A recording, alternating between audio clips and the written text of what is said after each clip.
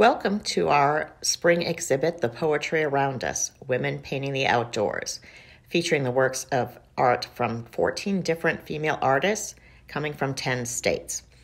Today, we're going to give you a little glimpse of someone from the East Coast, an artist from the West Coast, and one from right here in Tennessee. So let's begin with artist Teri Malo. Teri Malo is one of our East Coast artists. Uh, Teri lives in Massachusetts. Uh, Teri's work focuses on elemental themes from nature.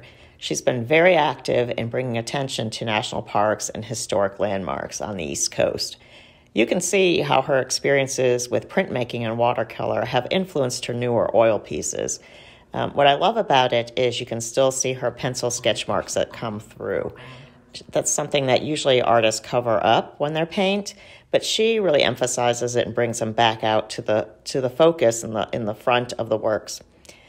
She tends to allow the medium to dictate how the work develops, and I think you can see the spontaneity in these pieces that we've got here. Teri has said of her work, I love to master the accidents that are possible when techniques collide. Teri's work is in many collections throughout the country, including the Philadelphia Museum of Art, the Newport Art Museum, uh, Marriott Hotels, and many more. We're going to take a look now at a great painting from California artist Cathy Carey.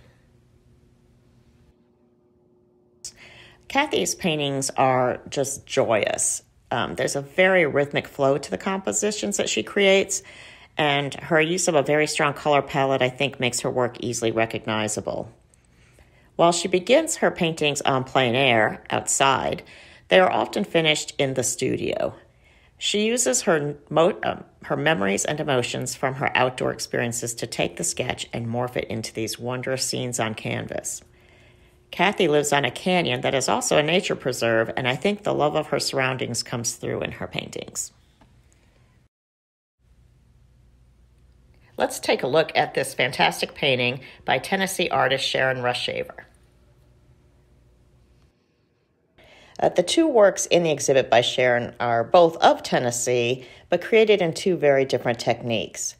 Sharon has said that when painting in the springtime, she tends to use a palette knife more, and um, I think that does help to create the rush and the spontaneity within the piece that we have here. When she's not painting in her home area of Middle Tennessee, uh, Sharon tends to teach workshops all over the world. It's great experiences where the artists go and travel and live together. And she and her husband actually work almost like travel agents while they're there, so everything is taken care of.